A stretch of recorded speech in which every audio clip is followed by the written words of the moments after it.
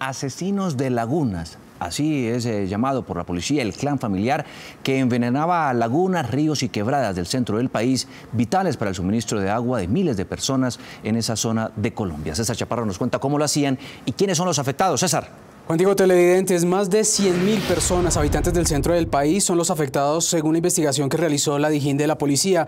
Esta organización, un clan familiar, como usted ha dicho, lo que hacía era extraer de manera ilegal la gasolina de un tubo madre de Ecopetrol. Ellos instalaban unos ah, aparatos especiales y así esto generaba una contaminación no solamente en los ríos, sino también ponía en peligro las viviendas que alquilaban para guardar este combustible.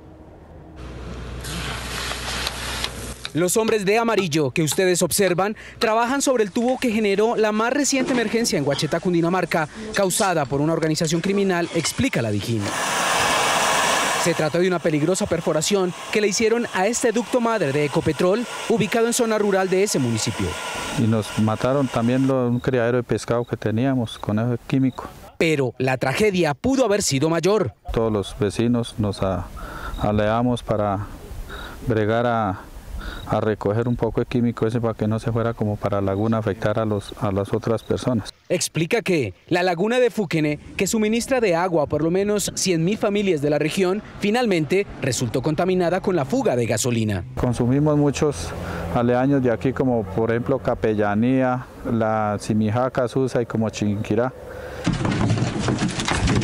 Las graves denuncias llegaron al Comando Ambiental de la Dijín, que asumió la investigación y ubicó el centro de operaciones de la organización. El modus operandi era arrendar fincas, eh, digamos de la región por donde pasaba el producto, que eran zonas desoladas las cuales utilizaban válvulas de forma ilícita, las instalaban sobre el producto, sacaban este combustible, lo almacenaban en estas fincas eh, arrendadas. Los delincuentes vendían la gasolina a bajos costos a los transportadores de carga pesada.